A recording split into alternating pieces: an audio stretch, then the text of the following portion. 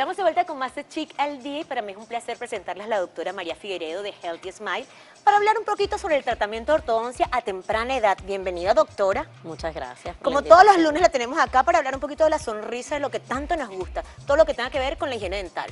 Así mismo. Quiero que hablemos un poquito del tratamiento de ortodoncia a temprana edad. ¿A partir de qué edad es necesario ponerle aparatos a los niños? Bueno, mira, fíjate que el término de ortodoncia temprano no va a aplicar a todo el mundo. La ortodoncia temprana es un tratamiento mm, sencillo que usualmente dura entre 6 a 12 meses. Porque eh, la idea es trabajar al niño cuando todavía está en pleno crecimiento, hay algunos dientes de leche todavía que le llaman o dientes temporales y otros permanentes ya están saliendo. Y la idea básicamente es preparar la boca para cuando vengan todos los dientes permanentes. Ok. ¿ok? No todos los niños van a ser candidatos y la edad va a depender de cómo está la boca, pero usualmente es entre los 6 y 10 años es el rango de ortodoncia temprana. Pero dicen supuestamente sí, el, eh, que no deberían ponerse tratamientos a los niños. Bueno, te estoy hablando, te estoy diciendo lo que he oído por ahí. Que no debería ponerse ortodoncia a niños tan temprana edad porque la pueden perder. Y ahora que tú me estás diciendo que es de 6 a 12 meses, después de esos 6 a 12 meses se puede mover. A lo que me refiero con ortodoncia temprana es eh, preparar la boca, es decir, no van a ser primero los braces, que le llaman bracket o braces, no se colocan en dientes de leche. aunque se colocan en dientes permanentes, pero por ejemplo, vamos a la ortodoncia temprana, trabajamos expansores. Ok. Son otro tipo de aparatología. A veces podemos poner brackets, eh, por ejemplo, en los cuatro dientes de al frente, que son los que primero salen.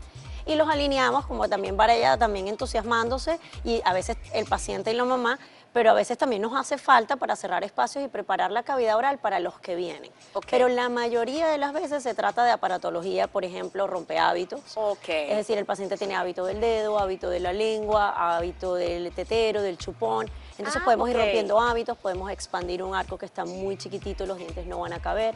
Ese tipo de cosas son las que se Ah, hacen no son, no, son no, no es- no es unos brackets como tal. No, y Ah, no se pierde el resultado, en absoluto no se pierde porque de hecho lo que vamos a trabajar lo, tra- lo trabajamos seis meses, los otros seis meses son retención. Es suficiente retención, de hecho muchos dentistas trabajan cuatro o cinco meses de retención. En la clínica trabajamos seis, quitamos todo, lo dejamos crecer al niño y entonces pudiera haber una segunda fase, que es lo que se llama el tratamiento convencional o fase 2, que es ya lo que todos estamos acostumbrados, toda la boca con braces, todos los dientes, donde ya toda la fase, digamos, de retención es súper importante. Esa la va a venir después, a los 12 años, 13 años, cuando ya estén todos los dientes. Además que la higiene de los niños con aparato debe ser bastante fuerte porque de por sí es difícil que los niños se cepillen, mandarlo a cepillar cada vez que coman. ¿Cómo es la higiene de un niño de 6 años con aparato? No es fácil. Ajá. De hecho, estos aparatos los hay removibles y fijos. Ok. La mayoría de las veces yo recomiendo y están de acuerdo los papás en que se usen aparatos fijos porque por supuesto los removibles no Se son- pierden a cada rato. Exacto, se limpian mejor pero se pierden a cada rato. Hoy en día hay una cantidad de, de materiales y de diseños nuevos de aparatos que los utilizamos en la clínica que son excelentes y el atrapamiento de alimentos es mínimo. Ok. ¿ok? Además existe esta cosita que se llama water pico irrigador oral que echa aire, agua con presión y entonces puede ir limpiando todas aquellas zonas que son como más intricaditas y, y es difícil de remover eh, el ah, buenísimo, porque de verdad que es difícil con los niños, Sí cuando son pequeños que se cepillen, que, cada vez que coman se pasen el hilo dental. Entonces, Es difícil sin aparatos, imagínate. Exactamente, aparatos. exactamente. Bueno, pero precisamente la importancia de la fase 1 radica en eso, en que una segunda fase, si fuera necesaria, va a ser mucho más corta, no vamos a tener braces 5 años, que complican tanto la higiene y después de la higiene, toda la decalcificación que puede venir con ella, caries, manchas, etc. Entonces, tratamientos de 5 años los podemos acortar a 2 cuando son necesarios, Qué me bueno, refiero al que se hace a los 12 o 13 años. Qué bueno. Hicimos un tratamiento que es básicamente un aparato donde todos los dientes están, digamos, libres, o sea, los puedes cepillar perfectamente. Trabajamos más que todo a nivel de huesitos. Y entonces son seis meses, luego seis meses de retención y luego viene una un, un tratamiento de braces de dos años. y Ah, no súper más de chévere. eso. Entonces, ¿Y cuáles son los también. síntomas? ¿Cuáles son los síntomas que vemos en los pequeños para que digamos, wow, tiene algún problema dental? Ok, mira, hay una serie de, digamos, de, de signos o de banderitas rojas que nos avisan. Lo que se llama la mordida cruzada posterior. A veces para los papás es difícil verlo, pero todos los dientecitos de arriba deben de morder por fuera de los de abajo. Toda la arcada, así como la tuya, perfecta. ¿Ok? Cuando hay algo que esté cruzado en algún tramo de la arcada, sea en la parte de atrás o en la parte del frente, que se llama mordida cruzada, eso es una cosa que debemos de tratar. Cuando los dientecitos del frente están muy, este, lo que se dice en inglés flare, o sea que están así como botaditos, este, también debe eh, de haber ahí probablemente hay algún hábito de dedo, de chupón o inclusive lo que se llama tragado inmaduro, que es que tragan con la lengua al frente como los bebés, eso se hace inconsciente. Pero con unos aparatos podemos entrenar la lengua. Okay.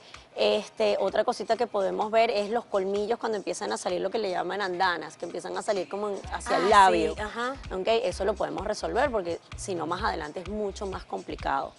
Okay. Otra cosita es cuando los niños muerden y los dientes del frente no chocan, no, no contactan, no cierran. Eso se llama mordida abierta. Okay, anterior. Ese tipo de cositas las podemos resolver. Hay otra cosa importante que también resuelve la ortodoncia temprana. A veces podemos resolver problemas del habla. Cuando la arcada superior es muy chiquita, la lengua no tiene cavidad suficiente para pronunciar. Y eh, al expandir la parte de arriba con un aparato muy sencillo, no doloroso, no es prácticamente tampoco costoso, le damos más espacio a la lengua y el niño mejora en el habla. Doctora, ¿estos, estos problemas dentales son hereditarios o no tienen nada que ver? Sí, mi papá... hay un factor hereditario, definitivamente. Hay un factor de hábito, hay un factor respiratorio importantísimo, que de eso podemos hablar, porque eso es un mundo completamente... A mí me encanta, me fascina. Para la próxima... Pero lo dejamos ahí en incógnita para el tiempo. lo importante es que estén pendientes de sus niños, que lo lleven al odontólogo a temprana edad para que lo chequen, para que sepan si hay que ponerle un tratamiento de ortodoncia, si no hay que ponérselo, si no hay que hacer una limpieza dental digamos, las redes sociales, doctores, para que la sigan, para que lleven a los niños a su consultorio, para que lleven a chequearlos, los niños y también los notan niños. Asimismo, en la oficina de Healthy Smile, lo mismo la de Jayalía que la del Doral, que estamos prontamente para abrirla, vemos adultos y niños. hacemos ortodoncia, implantes, hacemos todos los procedimientos de odontología.